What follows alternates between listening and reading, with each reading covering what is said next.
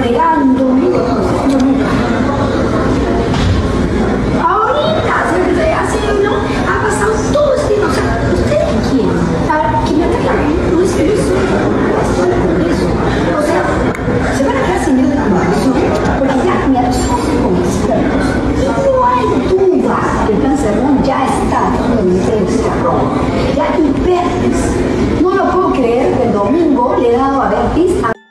Sean bienvenidos al canal. Como se sabe, el hecho de que un canal de televisión, específicamente ATV, le sacara un reportaje criticando a Mari Carmen por su humillación a una alcaldesa del distrito de Ocoña en Arequipa, fue suficiente para que la titular del parlamento llamase a dicho medio de comunicación para descargar su furia por tal hecho.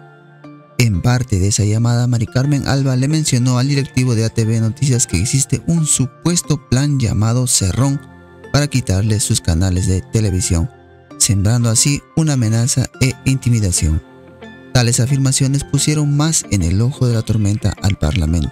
Si es que no hubo nada irregular en esta reunión, quisiera que nos aclare también lo que dice la denuncia periodística de que usted se percató de la presencia de un fotógrafo y usted mandó a interceptar a este fotógrafo.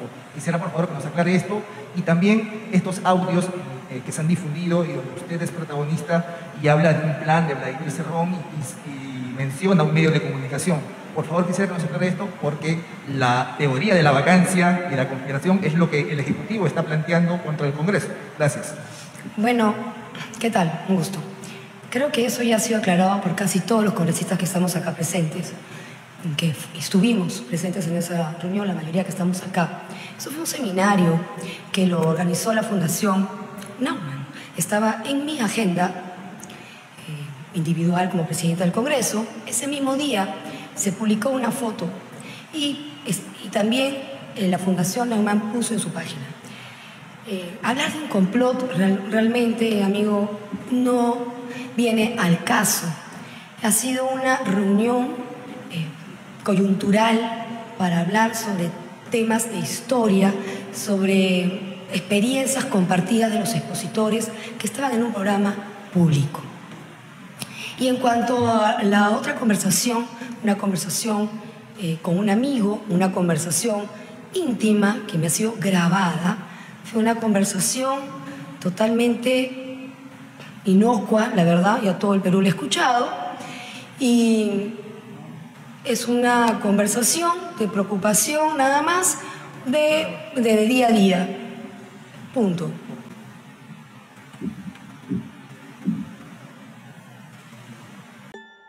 Llegó el momento de la pregunta incómoda sobre este tema hecha por un periodista justamente de esa casa televisiva. Cuando toda la semana casi ningún medio de comunicación se pronunció al respecto, defendiendo lo que tanto pregona, libertad de expresión. Poniendo en aprietos a la presidenta del Congreso porque no supo responder en qué consistía dicho plan. Veamos. Segunda pregunta, Brian Matías de ATV. Presidenta, ¿cómo está? Por acá, Brian Matías de Canal 9, estamos por aquí, estamos en vivo para TV Más.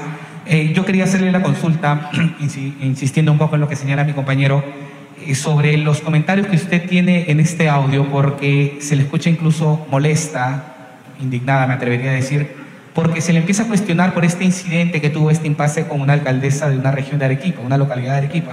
Entonces yo quería saber si, porque usted incluso menciona que hay temas más importantes, que cuando cierren el canal ahí los quiere ver, porque hay un plan cerrón, es el que, lo que usted había señalado. Quería saber eh, qué nos podría decir sobre esas expresiones que tuvo y también ha señalado que van a recibir al, al Premier el 8 de marzo.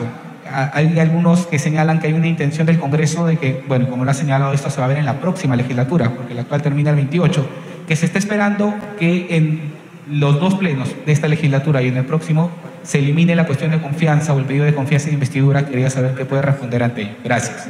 No hemos convocado ningún pleno esta semana. La próxima semana de representación tampoco va a haber pleno. Ya empezaremos la legislatura que empieza el primero de marzo. No se ha convocado ningún pleno. No, no hay una no, no, no se cumple la teoría que, que me has este, informado. Muy creativa, por cierto. Eh, vuelvo a repetir lo que le comenté. Eso ha sido una conversación privada una conversación entre amigos.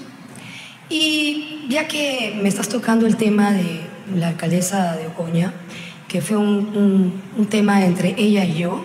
Solamente quiero decirles que esa reunión con los alcaldes, que eran más o menos 30 alcaldes, la alcaldesa termina la reunión, se me acerca, me pide disculpas de cómo se había expresado y cómo había entrado molesta a la reunión.